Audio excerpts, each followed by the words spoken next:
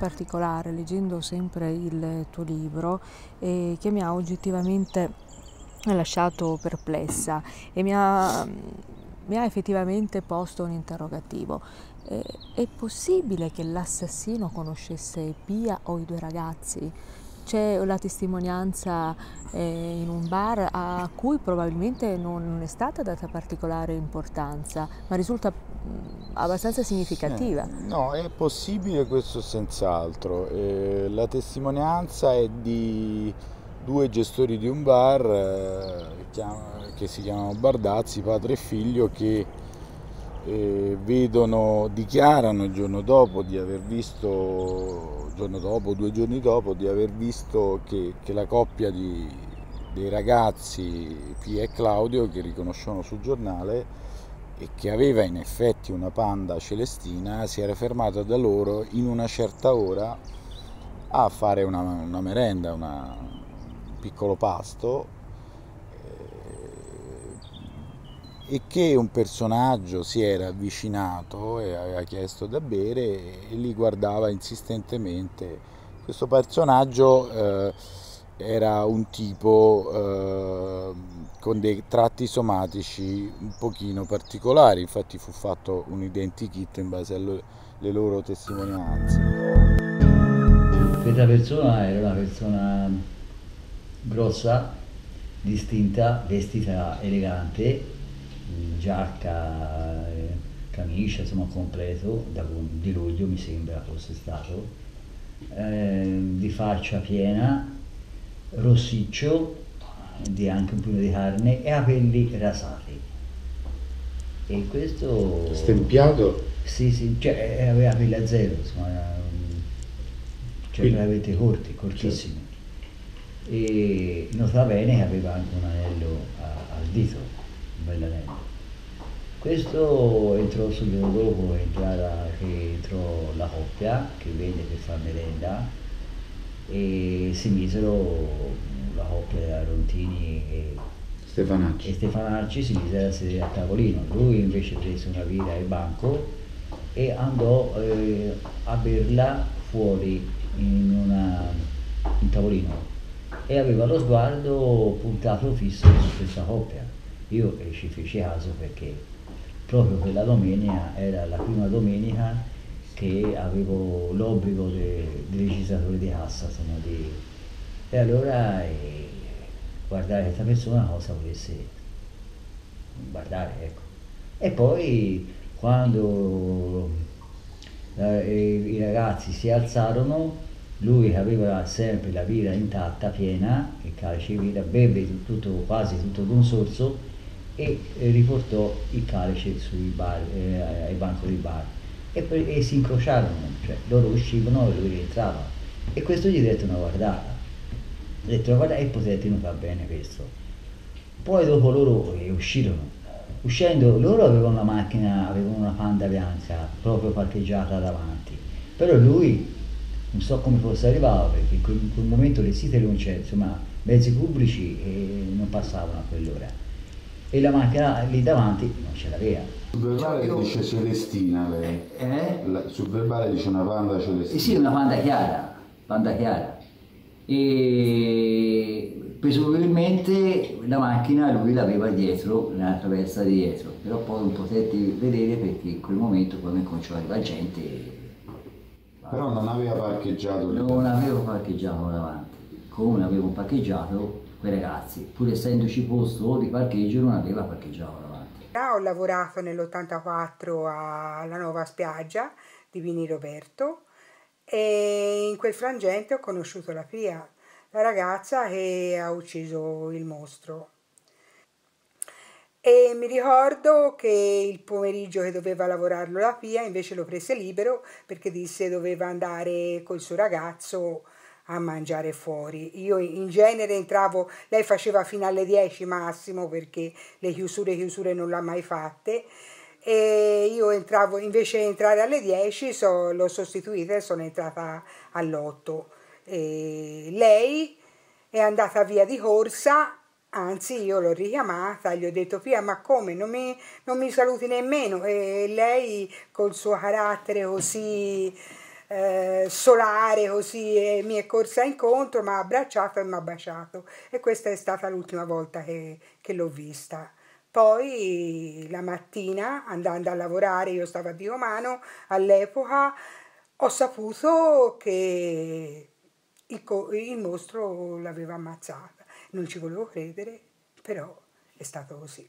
Infatti ce n'erano tanti tipi strani che venivano e magari facevano delle affermazioni a noi ragazze, però a me mi rimase impresso un sabato, una domenica, non ricordo bene, un tipo rossiccio, alto, robusto, che non molestava. C'era una ragazzina che non conosco né il nome e non conosco nemmeno la sua provenienza e era lì, io gli avevo dato un gelato e lui la importunava un po', gli diceva sei accampata ancora lassù, che sapeva benissimo dove era. E lei gli diceva sì, e stasera venga a trovarti, no io stasera non ci sono, è rimasta talmente turbata che è andata via di corsa e non ha preso nemmeno il resto. E io questa cosa qui l'ho l'ho notata, cioè mi ha fatto un po', era prima, prima che succedesse il fatto. E i carabinieri mi chiamarono, mi chiamarono a testimoniare, mi fecero diverse domande e mi fecero anche domande se avevo visto qualcosa, qualcuno sospettoso. Mi ricordo di questo signore, ma che non conoscevo. Mi ricordo che aveva una corporatura robusta, capelli lisci, con il ciuffo da una parte, molto stempiato, ma non mi ricordo di altro, non lo conoscevo. È tutto qui che, che ho visto io.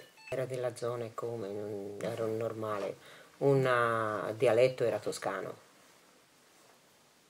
Sì, mi hanno fatto vedere l'identikit, ma non ho riconosciuto, somigliante era a quella persona lì, ma non ho, non ho potuto dire chi era, ecco.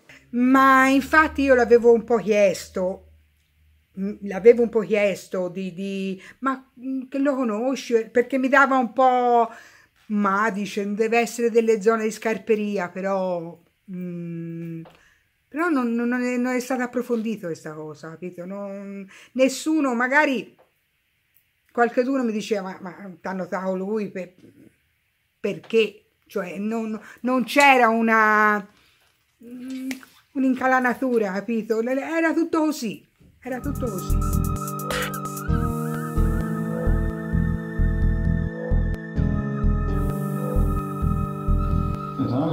L'orario era tra le 4 e le 5, vero più o meno? Ora di preciso è passato tanto tempo. Sul verbale dice eh, sì, 4 e 40, però no, lei stava lì proprio a guardare l'orologio oppure... No, no, non stavo a guardare, cioè prossimo. Potevano essere 4 e 4 sì, come le 5 meno un quarto. Non è che avevo l'orologio in mano, ecco. Quindi non c'è un orario preciso. Presumibilmente, ecco, ora... Dunque, ecco, questo, questo personaggio perché diventa interessante? Oltre per il suo avvistamento, quello di altri personaggi, di altri testimoni che vedono un tipo simile, che lo descrivono rossiccio, alto, massiccio al bar della Via Rottini e questo lo rilasciarono dei giorni dopo, quindi due giorni dopo l'omicidio.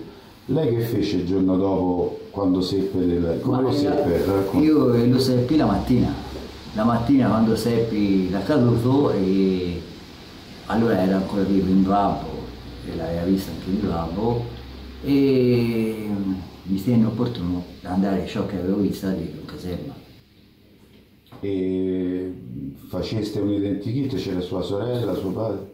Eh, sì, mh, mm, fece una, mi fecero un identikit secondo quel che descritto, ma avevo descritto, ecco. E quello che abbiamo visto poi al processo. Ma questo identikit lo fece una persona specializzata o un carabiniere lì che era... Ora, eh, non mi ricordo, ma penso una persona specializzata, mi sembra. Sì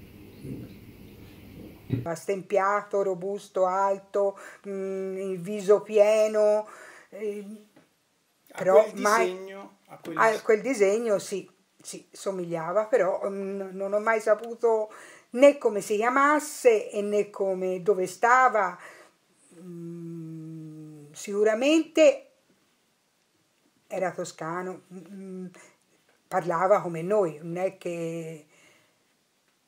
però Non si è più rivisto? È Mm, tornato? dopo, dopo i fatti no, io non l'ho più rivisto. Quindi strano perché eh, voi non l'avete mai visto prima. Sì, infatti io poi mi- allora rimasi un po' perplessa perché anche una seconda volta, e lo vidi, venne lì alla macchina di caffè e mi chiamava per nome, che io non lo conoscevo. Non capivo come mai, mi dice Manuela ma te va a ballare e io infastidita mm, gli dicevo no, mm, non capivo come mai lui mi chiamava per nome, ecco questo sì. Però poi dopo, dopo quelle due volte io non l'ho visto più. Però lui mi ha colpito proprio per questi due fatti, che non conoscesse il mio nome e che a quella ragazzina gli fosse mm, rimasto un pochino, era rimasta un po' soggettionata questa ragazza. Disegno un po', ha visto un uomo robusto, un uomo alto, un metro e ottanta, che rossiccio in faccia, di capelli. Poi a livello di ricordi, cioè lei poi fece praticamente, mi disse il colonnello Sticchi che lo portarono al funerale. Sì, al funerale mi ricordo ehm, in piazza Vicchio, eravamo sopra in una terrazza, non so, spesso salire sopra. Era una persona che lei non aveva mai visto prima. A prima da allora mai vista e dopo mai rivisto. Quindi Sono abbastanza, insomma, eh, mai vista prima da allora. È abbastanza fisionomista lei. Ecco perché eh, ci feci.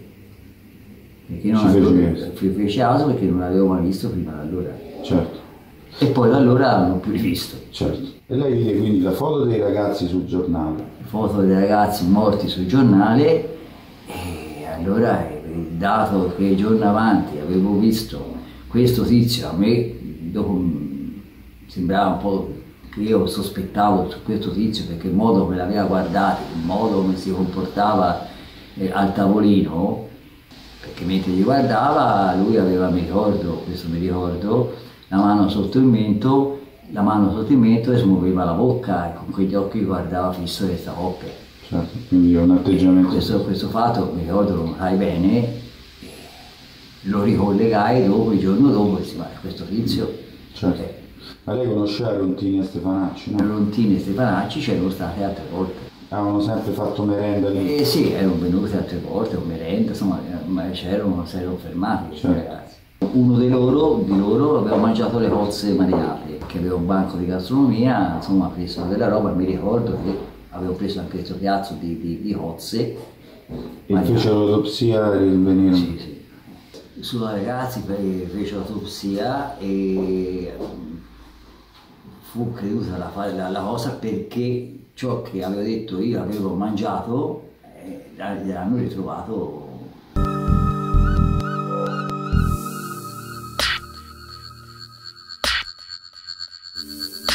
E questo è cosa nota già dall'epoca. Io ho trovato anche altri verbali, sempre dei primi di agosto, quindi qualche giorno dopo, dove ehm, altre persone, quindi parliamo di due ragazze, una delle quali eh, lavorava proprio al bar, era collega di Pia, e vedono un personaggio simile e di un altro un'altra persona ancora che vede sempre il personaggio, descrivendolo sempre con quei tratti somatrici, con quel colore dei capelli, eh, di mattina che guardava, qui, qui davanti c'è un fiume, no? Qui guardava delle donne fare il bagno qui al fiume. Quindi la presenza di questo personaggio nei giorni precedenti, quindi nel luglio 84, al delitto è, è una certezza quasi Acclarata. acclarata, ecco. Un dato acclarato. E comunque non, non è stato diciamo,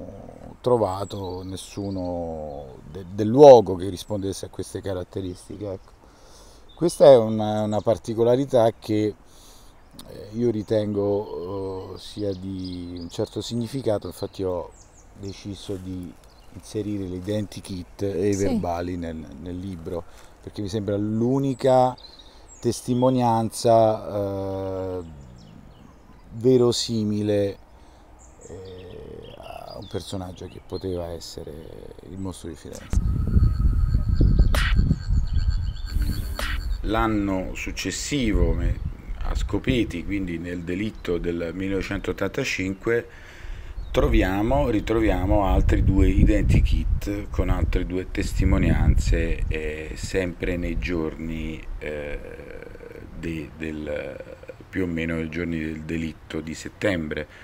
Quindi abbiamo un testimone, Cigolini, Luciano, che descrive una persona robusta, alta, 1,75, 1,80, anche di più, eh, prestante, con eh, i capelli rasati, eh, rossiccio in volto e un'altra, un'altra testimone Sossi, eh, questi sono testimoni non entrati al processo in eh, questi identikit ma vengono fatti nell'immediatezza dei fatti, quindi molto molto più attendibili rispetto a poi eh, quelli che verranno successivamente proposti nel, nel processo Pacciani.